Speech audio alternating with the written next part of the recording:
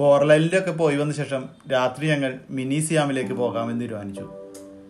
Mini സിയാം രാത്രിയാണ് കാണാൻ അടിപൊളിയെന്ന് ഹാരിസിക്ക പറഞ്ഞു. അങ്ങനെ മിനി സിയാമിലേക്ക് പോകുന്നതിന് മുമ്പ് ഭക്ഷണം കഴിക്കാനായി ഞങ്ങളൊരു തായ് റെസ്റ്റോറന്റിൽ കയറി. മെനു ചോദിച്ചപ്പോൾ നാല് പുസ്തകം എടുത്തു തന്നു. അതിൽ നോക്കി ആകെ കൺഫ്യൂഷനായി. അത്രയ്ക്കധികം വെറൈറ്റികളായ ഫുഡ്സിന്റെ പേരും ചിത്രവും വിലയും ഒക്കെ അതിലുണ്ടായിരുന്നു. അവസാനം കല്ലുമ്മക്കായ വെച്ചുണ്ടാക്കിയ ഒരു കറി ഹാരിസിക്ക് ഓർഡർ ചെയ്തു. അവിടെ ചില്ലുകൂട്ടിൽ കൊഞ്ചും ഞണ്ടും മീനുകളുമൊക്കെ ജീവനോടെ കാണാമായിരുന്നു. ആവശ്യക്കാരനെ അതിൽ നിന്നും പിടിച്ചു തൂക്കി അപ്പപ്പോൾ കറി വെച്ചു കൊടുക്കുന്ന ഒരു രീതിയാണ് അവിടെ വില സ്വല്പം കൂടുതലാണ്. ഫ്രഷ് ആയതുകൊണ്ടാവാം. ചില്ലുകൂട്ടിലെ മീനുകളുടെ വില സ്വല്പം കൂടുതലായിരുന്നു. കൊഞ്ചിന് കിലോ രണ്ടായിരം രൂപ. മീൻ അഞ്ഞൂറ്റമ്പത് ബാത്ത്. അതായത് ഇന്ത്യൻ രൂപ ആയിരത്തി എഴുന്നൂറ് രൂപ വരും ഒരു മീനിന്. ആദ്യ ദിവസം ആയിരത്തിക്ക ഞങ്ങൾക്ക് വാങ്ങി തന്ന ആ മീൻ ഇതായിരുന്നു എന്ന് എനിക്ക് തോന്നുന്നു. ഹാരിസിക്ക പറഞ്ഞത് പിലോപ്പിയാണെന്നാണ്. അന്ന് കഴിച്ച ആ മീനോട് നല്ല സാമ്യമുണ്ട്.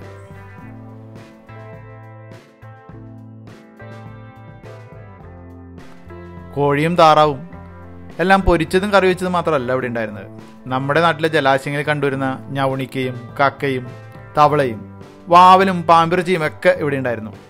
കല്ലുമ്മക്കായ കൊണ്ടുള്ള കറിയിൽ നാരകത്തിന്റെയും സർവസൂന്തിയുടെയും ഒക്കെ ഇലയുടെ ഗന്ധം രൂക്ഷമായി ഉണ്ടായിരുന്നു. അതെന്തോ ചില സമയത്ത് നമ്മുടെ മനസ്സിനങ്ങോട്ട് പിടിക്കില്ല. ഇവരുടെ എല്ലാ ഭക്ഷണത്തിലും അതൊക്കെ ഉൾപ്പെടുത്തും അത്ര. എന്നാലും കറി നല്ല ടേസ്റ്റായിരുന്നു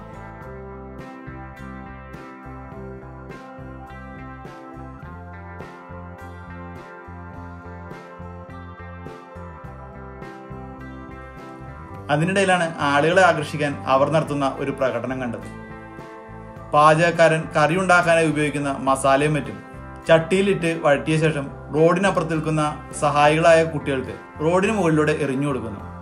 അവരത് താഴെ പോകാതെ പിടിച്ചെടുത്ത് തിരികെ ഇപ്പുറം കൊണ്ടുവന്ന് കറിയിൽ ചേർക്കുന്നു.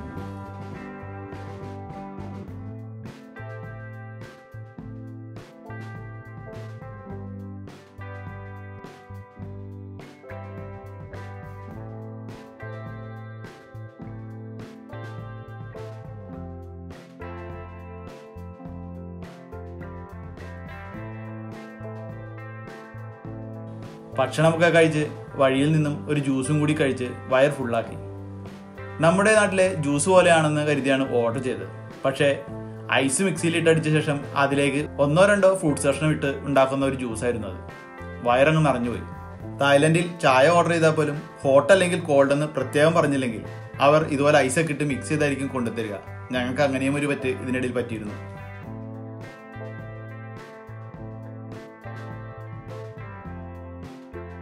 നമസ്കാരം. ഞാനിപ്പോൾ നിൽക്കുന്നത് പട്ടായയിൽ നിന്നും ഏകദേശം ഒരു ഇരുപത് കിലോമീറ്റർ ദൂരം അപ്പുറത്ത് മിനീസിയം എന്ന് പറയുന്ന ഒരു സ്ഥലത്താണ്. നമ്മുടെ മനസ്സിൽ നമ്മൾ കാണാൻ ആഗ്രഹിക്കുന്ന ഉദാഹരണം ഈഫൽ ഗോപുരം പോലെയുള്ള ചില വലിയ വലിയ ബിൽഡിങ്ങുകളൊക്കെ ഉണ്ട്. അപ്പോൾ അങ്ങനെയുള്ള ആ പ്രധാനപ്പെട്ട സ്ഥലങ്ങൾ കാണുക എന്നൊരു ആഗ്രഹം നമ്മുടെ മനസ്സിലുണ്ട്. എന്നാൽ അവിടെയെല്ലാം പോകാൻ നമുക്കിപ്പോൾ ബുദ്ധിമുട്ടുണ്ടാകും അങ്ങനെ ആഗ്രഹമുള്ളവർക്ക് പട്ടായയിൽ അതെല്ലാം കാണാൻ ഒരു സ്ഥലമുണ്ട്. അതാണ് മിനിസിയം. നമുക്ക് അതെവിടെയെന്ന് നോക്കാം.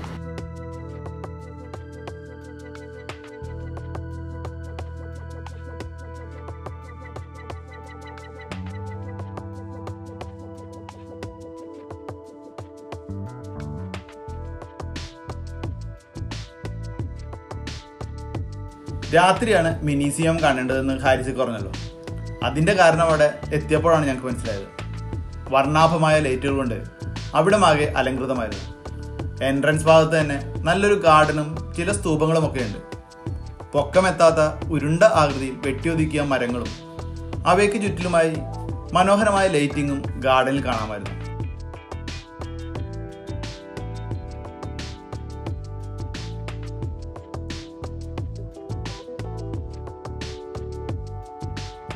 കുറച്ചുള്ളിലേക്ക് നടക്കുമ്പോഴാണ് മിനീസിയാമിന്റെ മനോഹാരിത നമുക്ക് ആസ്വദിക്കാനാവുക.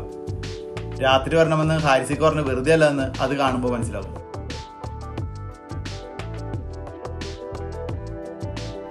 ഏക്കർ കണക്കിന് സ്ഥലത്തായിട്ടാണ് മിനിസിയാം സ്ഥിതി ചെയ്യുന്നത്. രാവിലെ വന്നാൽ പുൽത്തകിടികൾ കൊണ്ട് ചുറ്റപ്പെട്ട ആ ഗാർഡനുകൾക്ക് നടുവിലായി നിന്ന് നമുക്ക് ചരിത്ര സ്മാരകങ്ങൾക്കരികിൽ നിന്ന് ഫോട്ടോ ഒക്കെ എടുക്കാനാവും. നല്ല മനോഹരമായ ഒരു പരിസ്ഥിതി തന്നെയാണ് നമുക്ക് പകലവിടെ കാണാൻ സാധിക്കുക. നെറ്റിൽ നോക്കിയാൽ നമുക്ക് അതിന്റെ ഫോട്ടോകളൊക്കെ കാണാം. രാത്രി ആയതുകൊണ്ട് അതൊന്നും നമുക്ക് കാണാനാവുമായിരുന്നില്ല.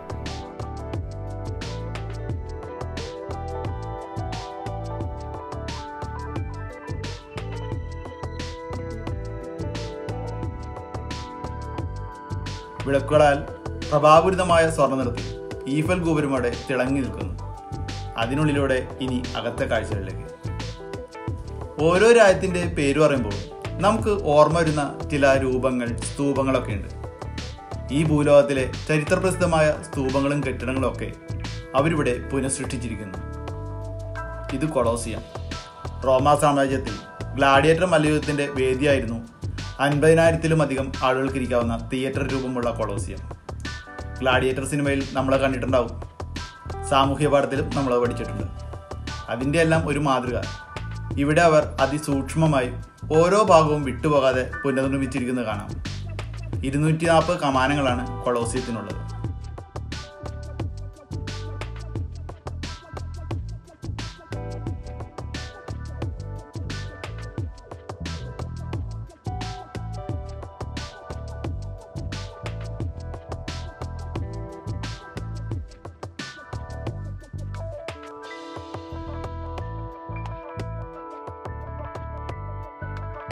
ജർമ്മനിയിലെ പ്രശസ്തമായ കൊളോൺ കത്തീഡ്രൽ പിസ ഗോപുരം ഈജിപ്തിലെ പിരമിഡ് വൈറ്റ് ഹൗസ് എന്നിവയും മറ്റു ഒട്ടനേകം ചരിത്ര സ്മാരകങ്ങളും മിനിസിയാമിൽ നമുക്ക് കാണാം. ഒന്നര മണിക്കൂർ കൊണ്ട് ലോകമെന്ന് ചുറ്റി വരണമെന്ന് പറഞ്ഞാൽ മിനിസിയാമിൽ വന്നാൽ മതി. ലോകത്തുള്ള എല്ലാ സ്തൂപങ്ങളും ചരിത്ര സ്മാരകങ്ങളും നമുക്കിവിടെ കാണാം.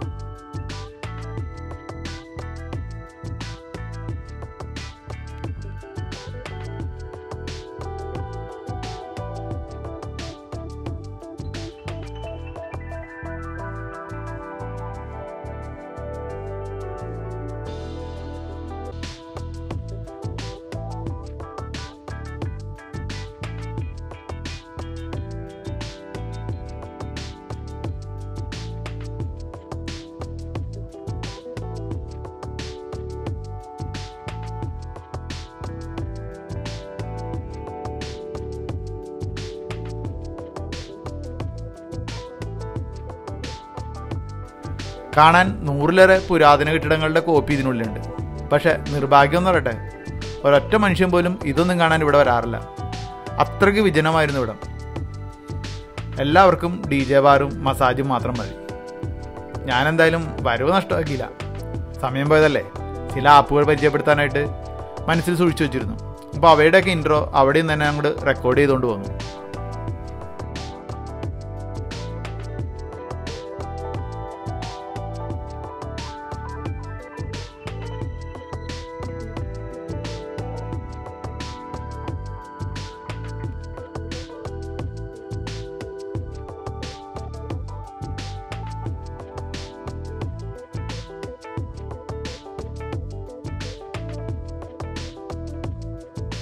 ചരിത്രം പഠിക്കുന്നവരും സിവിൽ എഞ്ചിനീയറിംഗ് ഒക്കെ പഠിക്കുന്നവരും തീർച്ചയായും സന്ദർശിക്കേണ്ട ഒരു സ്ഥലമാണ് പട്ടായയിലെ മിനീസിയം.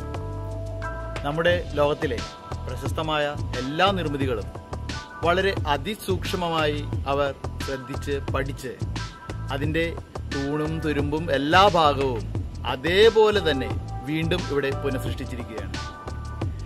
പട്ടായ എന്ന് പറയുമ്പോൾ നമ്മുടെ മനസ്സിൽ പ്രത്യേകിച്ചും മലയാളികളുടെ മനസ്സിൽ എന്നും സെക്സ് ടൂറിസം മാത്രമേ ഉള്ളൂ. പക്ഷേ പട്ടായിൽ നിങ്ങൾ കാണേണ്ടത് അത് മാത്രമല്ല. അതുക്കും മേലെ പട്ടായിൽ വേറെ പലതുമുണ്ട്. അതാണ് നമ്മളിപ്പോൾ ഈ വീഡിയോയിൽ കണ്ടുകൊണ്ടിരിക്കുന്നത്. ഏക്കർ കണക്കിന് സ്ഥലത്ത് ഒരു ദീപക്കാഴ്ച.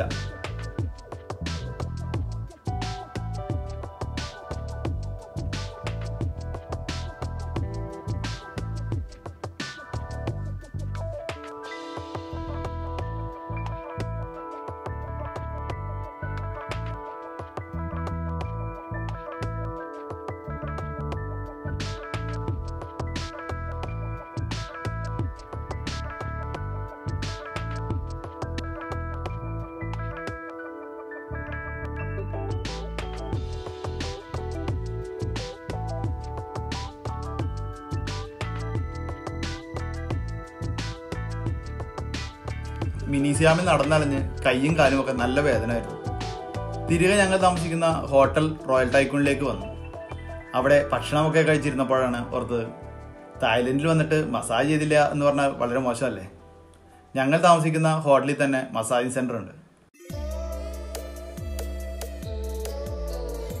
ധാരാളം തായ് സുന്ദരിമാർ നിരയായിരുന്ന് അവിടെ മസാജ് ചെയ്യുന്നത് കാണാമായിരുന്നു. എല്ലാവരോടും വീഡിയോ എടുക്കാം ഫേസ്ബുക്കിലിടാം ധാരാളം ആളുകളാണ് ലൈക്ക് കിട്ടുമെന്നൊക്കെ പറഞ്ഞപ്പോൾ എല്ലാവരും വീഡിയോ എടുക്കാൻ സമ്മതിച്ചു. വീഡിയോയും എടുത്ത് അതിലൊരു സുന്ദരിയെ കൊണ്ട് മസാജും ചെയ്യിച്ചു.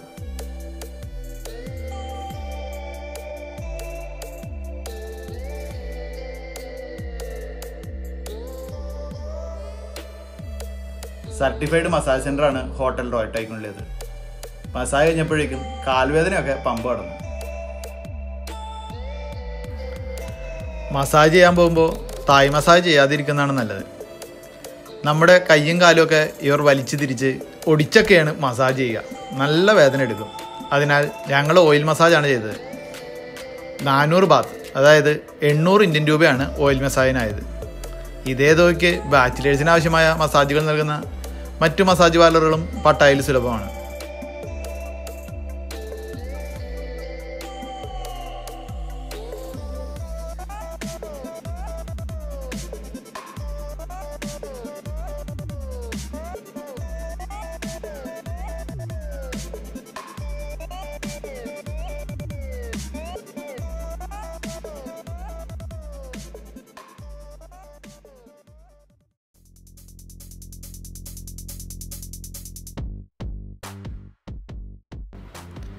പിറ്റേ ദിവസം രാവിലെ ഞങ്ങൾ ടൈഗർ പാർക്കിലേക്ക് പോയി. പട്ടായയിൽ ടൈഗർ പാർക്കും ടൈഗർ സ്യൂവും ഉണ്ട്. ടൈഗർ പാർക്കിൽ കയറുന്നതിന് മുമ്പ് കടുവയുടെ അടുത്തൊക്കെ പോകണമെങ്കിൽ ഇൻഷുറൻസ് ഫോമിലും വേറെ ചില അനുമതി പത്രത്തിലൊക്കെ ഒപ്പിട്ട് വാങ്ങും. ഒക്കെ ഇവിടെ നമ്മൾ ഇത് ടൈഗർ പാർക്ക്. നേരത്തെ പറഞ്ഞ നമ്മൾ ടൈഗർ സ്യൂ. അപ്പോൾ ഇത് രണ്ടും തമ്മിലുള്ള വ്യത്യാസം എന്താ ശരിക്കും? ഈ ടൈഗർ പാർക്കും ടൈഗർ സൂം തമ്മിലുള്ള വ്യത്യാസം പറഞ്ഞാൽ ടൈഗർ പാർക്കിൽ ഓൺലി ഇവർ ഫോക്കസ് ചെയ്തിരിക്കുന്നത് ടൈഗറിനെ മാത്രമാണ് ഇവർ ഫോക്കസ് ചെയ്തിരിക്കുന്നത്. ടൈഗറിന്റെ അതായത് നമ്മളൊരാൾക്ക് വന്നു കഴിഞ്ഞാൽ എല്ലാ ടൈപ്പ് ടൈഗേഴ്സ് ആയിട്ട് ഇടപഴകാനും നമുക്ക് വളരെ അടുത്തറിയാനും നമുക്ക് അവരെ കളിപ്പിക്കുക അവരുടെ ജീവിത രീതികൾ ആക്ടിവിറ്റീസ് ഒക്കെ നമുക്ക് മനസ്സിലാക്കാനൊക്കെ ഉള്ള ഒരു വേദിയാണ് ഇത്. ടൈഗർ സൂൾ എന്ന് പറഞ്ഞാൽ ഒരു ഓവറോൾ അവിടെ tiger show elephant show crocodile show അങ്ങനെ ഒരുപാടായിട്ട് ഒരു? ഷോസ് കാര്യങ്ങളൊക്കെ ഉണ്ട്. ഇത് നമ്മൾ റിയൽ ആയിട്ട് നമ്മൾ ടൈഗറിനെ അടുത്തറിയുക അതിന്റെ ലൈഫ് ലൈഫ് നമുക്ക് എടുക്കാം. ഇപ്പൊ ഫോട്ടോസ് നമുക്ക് പുലിമുരുകൻ നമ്മളെല്ലാം ടൈഗർ എല്ലാവർക്കും നമുക്ക് അതൊക്കെ കുറെ ഡ്യൂപ്പിന്റെ വിജയനോട് നമുക്ക് റിയൽ ആയിട്ട് ചെന്നപ്പോ നമുക്ക് അകത്ത് കയറുമ്പോൾ കാണാൻ പറ്റുന്നത് വളരെ അടുത്ത് ഇടപഴകാനും കാണുന്നത് അതായത് ടൈഗറിന്റെ പേടിയുള്ള ഒരു ഒരു പ്രാവശ്യം കൂടെ വിസിറ്റ് ചെയ്ത് കഴിഞ്ഞാൽ ആ പേടി മനസ്സിൽ എന്നേക്കായിട്ട് മാറി. അതാണ് ഏറ്റവും അഡ്വാന്റേജ് അപ്പോ തായ്ലൻഡ് കാണാൻ വരുന്നവര് എസ്പെഷ്യലി പട്ടായ വരുന്നവർക്ക് വളരെ നിയർ അടുത്താണ് നമ്മുടെ ബാക്കി സീറ്റിനൊക്കെ വളരെ അടുത്ത് തന്നെയാണ് ഒരു ടെൻ ടു ഫിഫ്റ്റി മിനിറ്റ്സിന്റെ ഡിസ്റ്റൻസ് ഉള്ളൂ. നിർബന്ധമായിട്ട് വന്ന് കാണണം. കണ്ടത് എൻജോയ് ചെയ്യാനായിട്ടാണ് ഞാനൊരു ടൂർ ഓപ്പറേറ്റർ എന്നുള്ള നിലയ്ക്ക് താല്പര്യപ്പെടുന്നത്. എന്തായാലും കണ്ടതിന് ശേഷം നിതീഷ് ഭായി എന്റെ അഭിപ്രായം പ്രേക്ഷകരായിട്ട് ഷെയർ ചെയ്യണം. കാരണം നിങ്ങളെ നിങ്ങളെപ്പോലുള്ളവർ വന്നു കഴിഞ്ഞാൽ നിങ്ങൾക്ക് റിയൽ ആയിട്ട് എന്താ തോന്നിയെന്നത് എന്ത് മുഖത്ത് നോക്കി വെട്ടി തോന്നുന്നുണ്ട് ആൾക്കാരാണ് പുലിമുരുകൻ കണ്ടപ്പോ തൊട്ട് എനിക്ക് തോന്നുന്നുണ്ട് ഒരു പുലി ഒന്ന് ടച്ച് ചെയ്യണമെങ്കിൽ കാരണം പുലി എന്ന് പറയുന്നത് നമ്മൾ പറയാറുണ്ട് പുലിനകം കെട്ടി തൂക്കിക്കഴിഞ്ഞാൽ ഭയങ്കര ധൈര്യമായിരിക്കും എന്നൊക്കെ. അപ്പൊ ഒന്ന് ധൈര്യം നമുക്ക് നമുക്ക് ഇന്നത്തെ ഇത്ര മണിക്കൂറുകൾ നമുക്ക് പുലികളുടെ ഉള്ളിൽ കിടന്ന് മറിയാം നമുക്ക്. എന്തായാലും ഓക്കെ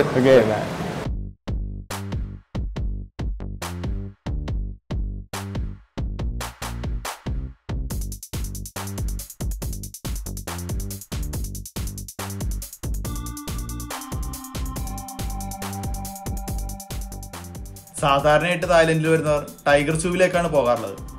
അതിനാൽ ഞങ്ങളൊരു വ്യത്യസ്തതയ്ക്ക് ടൈഗർ പാർക്കിലേക്കാണ് പോയത്. ഇവിടെ ഈ ടൈഗർ പാർക്കിൽ വരുമ്പോൾ ബിഗ് എന്നും മീഡിയം എന്നും ബോർഡ് കാണാം. ഇത് ഒരു ബോർഡ് കൂടെ ഉണ്ട് സ്മോൾ എന്ന്. അതിന്റെ കാരണം എന്താണെന്ന് വെച്ചാൽ ഇവിടെ മൂന്ന് പാക്കേജ് ഉണ്ട്. ഈ കാണുന്ന കടുവകൾ ഇതിനെ മൂന്നിനെയും മൂന്ന് രീതിയിൽ തരംതിരിച്ചേക്കാണ്. നമുക്ക് കടുവ കുട്ടികളുടെ ഒപ്പം നിന്നുകൊണ്ട് അതിന് പാലൊക്കെ കൊടുത്തിട്ട് ഫോട്ടോ എടുക്കണം വീഡിയോ എടുക്കണം എന്നുണ്ടെങ്കിൽ അതിന് സ്മോൾ പാക്കേജ് എടുക്കണം. ഇനി കുറച്ചുകൂടി വലുത് ഒരു മീഡിയം ലെവലിലുള്ള കടുവകളുടെയൊക്കെ ഒപ്പം നിന്ന് നമുക്ക് ഫോട്ടോ എടുത്താൽ മതി എന്നുണ്ടെങ്കിൽ അതിന് നമ്മൾ മീഡിയം എന്നത് സെലക്ട് ചെയ്യും. ഇനി നമ്മളെപ്പോലെ സ്വല്പം വലിയ ആൾക്കാർക്ക് സ്വല്പം വലിയ പുലികളുടെയും കടുവകളുടെയും ഒപ്പം ഫോട്ടോ എടുക്കണം വീഡിയോ എടുക്കണം എന്നുണ്ടെങ്കിൽ അതിന് ബിഗ് എന്നത്. അങ്ങനെ മൂന്ന് പാക്കേജാണ് ഇവിടെ ഉള്ളത്. അപ്പോൾ ഇവിടെ വരുമ്പോൾ അത് നിങ്ങൾക്ക് ഇഷ്ടമുള്ള രീതിയിൽ ചൂസ് ചെയ്യാനുള്ള സൗകര്യം ഇവിടെ ലഭ്യമാണ്. കടുവയുടെ അടുത്തേക്ക് പോകുന്നതിന് മുമ്പ് അതിന്റെ തലയിൽ തോണ്ടാൻ ശ്രമിക്കരുത് ഭക്ഷണം കൊടുക്കാൻ ശ്രമിക്കരുത് സെൽഫി സ്റ്റിക്ക് ഒന്നും അതിന് അടുത്തേക്ക് കൊണ്ടുവരുന്നൊക്കെ അവർ നിർദ്ദേശം തന്നു. അകത്ത് മൂന്ന് കൂറ്റൻ കടുവകളുണ്ടായിരുന്നു. അവ ഒരു ബന്ധനവുമില്ലാതെ തലങ്ങും വിലങ്ങും സഞ്ചരിക്കുന്നു. നമ്മുടെ നാട്ടിൽ അത് സങ്കല്പിക്കാൻ പോലും ആവില്ല. അവ നമുക്കടുത്ത് വരുന്നു തിരികെ പോകുന്നു. അതൊക്കെ സ്വല്പം ത്രില്ലുള്ള അനുഭവം തന്നെ. ത്രില്ലുണ്ടെങ്കിലും മനസ്സിൽ സ്വല്പം പേടിയും ഉണ്ടായിരുന്നു.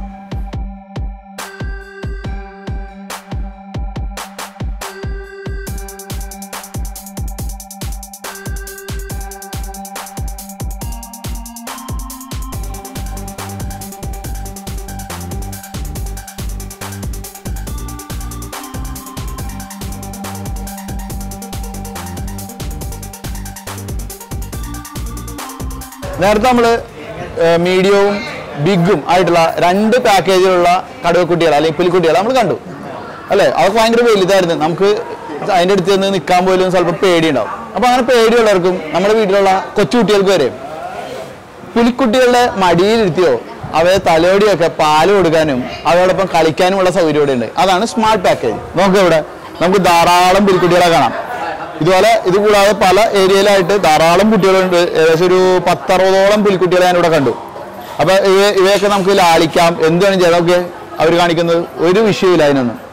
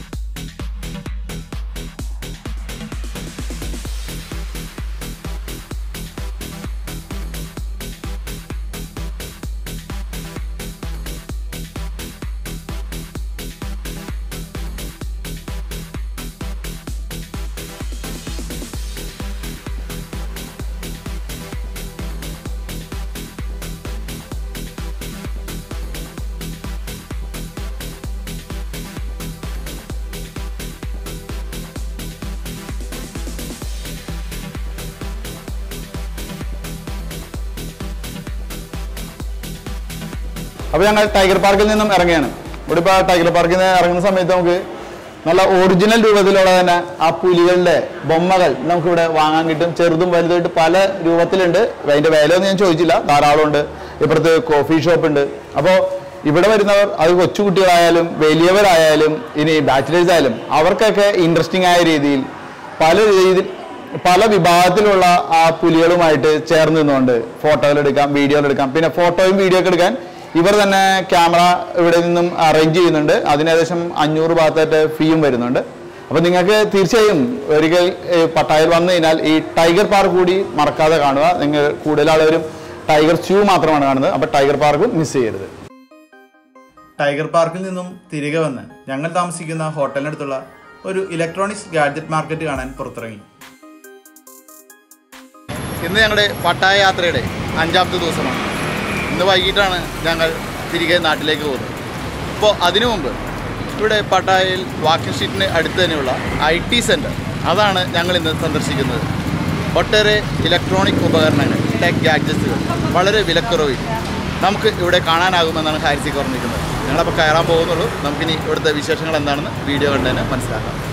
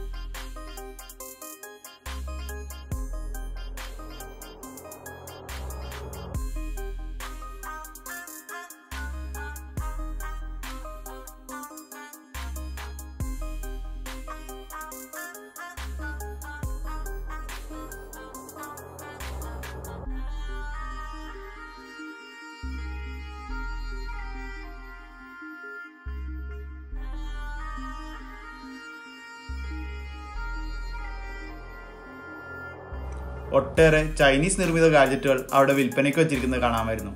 അതിലൊന്നും തന്നെ ഞാൻ കാണാത്തതായി ഉണ്ടായിരുന്നില്ല. കാരണം എല്ലാം ചൈനീസ് മെയ്ഡായിരുന്നു ഒരു വലിയ ബിൽഡിങ്ങിനുള്ളിൽ നൂറുകണക്കിന് ഗാഡ്ജറ്റ് ഷോപ്പുകൾ.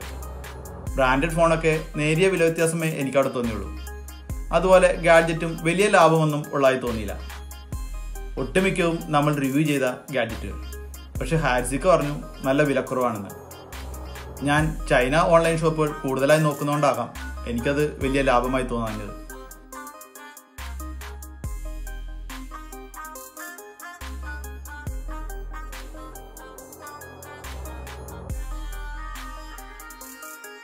ഉച്ചയ്ക്ക് ശേഷം തിരികെ നാട്ടിലേക്ക് പോകാനുള്ള മുന്നൊരുക്കങ്ങളായിരുന്നു. ഷോപ്പിങ്ങും മറ്റുമായി സമയം പോയതങ്ങോട്ട് അറിഞ്ഞില്ല തിരികെ ബാങ്കോക്ക് എയർപോർട്ടിലേക്ക് കാറിൽ യാത്രയായി.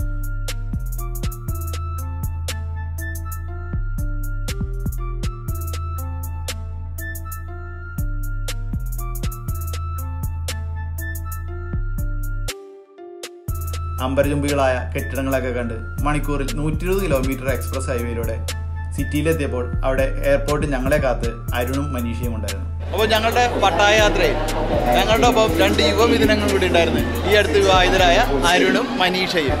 അപ്പോൾ പലരുടെയും വിചാരം ശരിക്കും പട്ടായ എന്ന് പറഞ്ഞ ബാച്ചിലേഴ്സിന് മാത്രമുള്ളതാണ്. നമുക്ക് ഇവരോട് ചോദിക്കാം എങ്ങനെയുണ്ട് പട്ടായ യാത്ര എന്ന്?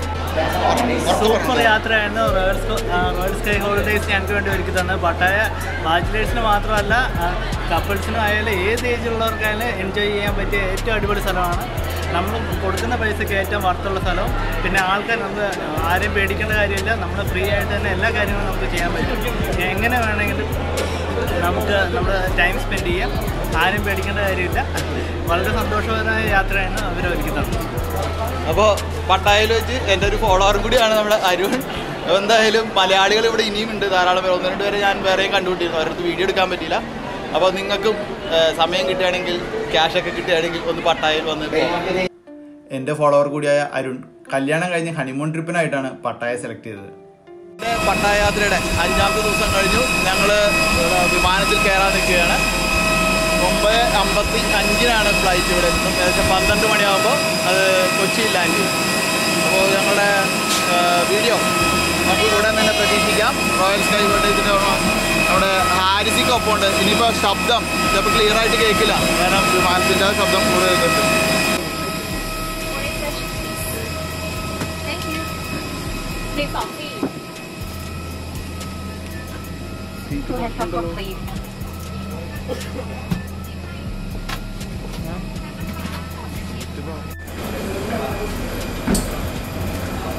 അങ്ങനെ സമയം പന്ത്രണ്ടേ കാലമായപ്പോൾ ഞങ്ങൾ തിരികെ കേരളത്തിലേക്ക്. അടുത്തായിട്ട് ഞങ്ങൾ ഡ്യൂട്ടി ഫ്രീയിലേക്ക് പോവുകയാണ്. നമുക്ക് നമ്മുടെ യാത്രയിൽ ഡ്യൂട്ടി ഫ്രീ ആയിട്ട് എന്തെങ്കിലും സാധനങ്ങൾ വാങ്ങണമെന്നുണ്ടെങ്കിൽ അതിനുള്ള സൗകര്യം നമ്മുടെ എയർപോർട്ടുണ്ട് അപ്പോൾ അതിലേക്കാണ് പോകുന്നത്.